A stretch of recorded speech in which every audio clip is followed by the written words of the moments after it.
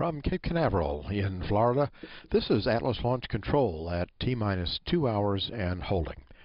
We're now just two and a half hours away from the liftoff of NASA's TDRS-K tracking and data relay satellite.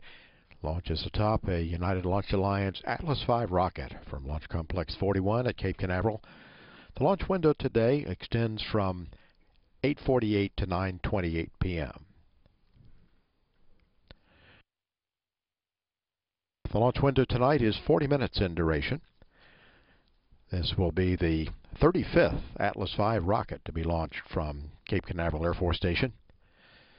The TDRS-K tracking and data relay satellite will relay voice, data, and telemetry communications between spacecraft in Earth orbit and ground controllers.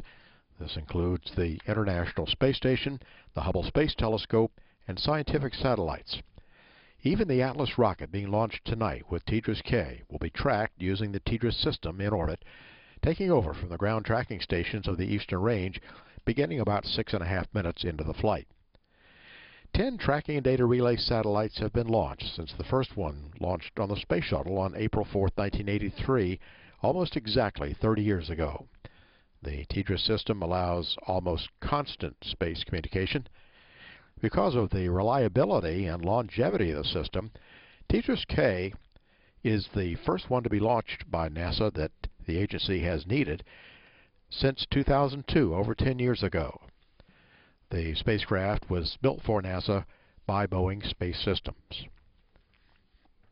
So at this time, we're awaiting our poll from the NASA launch director, Tim Dunn, of the NASA team, and that will be followed by the poll of the Atlas team to begin tanking of the Atlas V rocket with cryogenic propellants.